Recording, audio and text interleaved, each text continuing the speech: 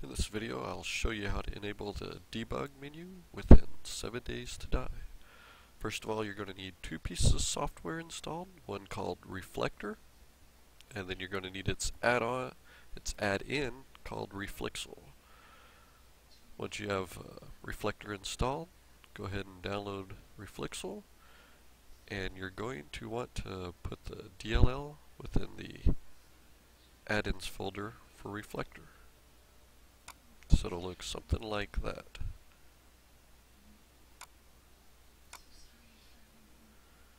And once you have all that done, go ahead and start up Reflector. use Framework 4.5. It'll show up a bunch of stuff here. Go ahead and bring up your 7 days to die install folder. Go into the 7 days to die underscore data directory. Go into managed. And then take the assembly dash C sharp dot DLL and drag it over into the left hand window. And then it'll show up at the very bottom. So go ahead and click the plus next to that. And then for the assembly C, C sharp DLL, go ahead and click the plus for that.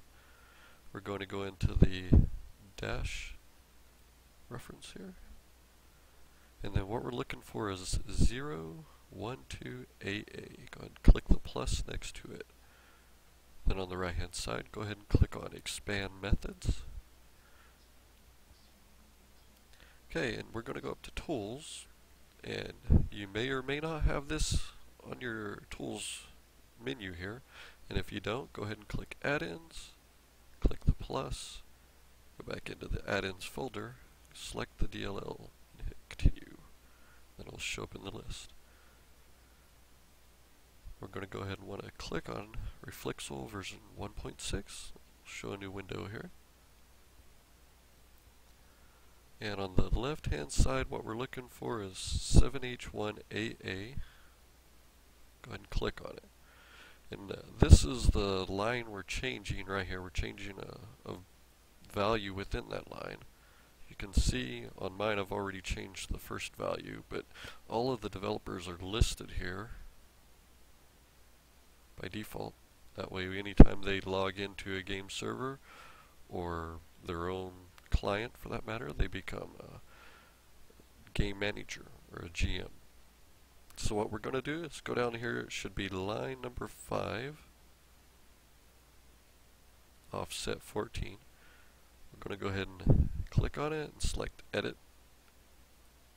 And since I've already put my username in on this one, mine's already here, but you'll change the very bottom value, the operand, to whatever your 7 days to die username is. Go ahead and click on update and then you want to scroll back up the list a little bit. You're going to right click on this assembly dash C sharp.dll, go down to Reflexil, and then click Save As. And then you'll want to make sure you click on your assembly dash C sharp.dll file within your 7 days to die install and click Save. And that's all you have to do.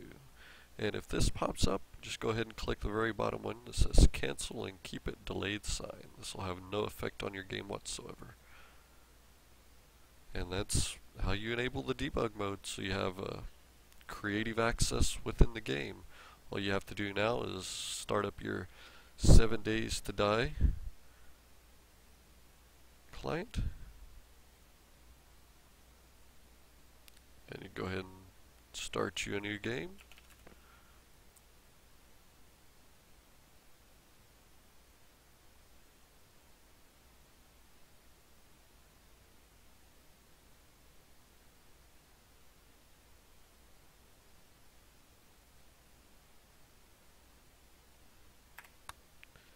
And once you're in game, go ahead and hit tab to bring down the console and go ahead and type in DM or you can type in debug mode, all one word.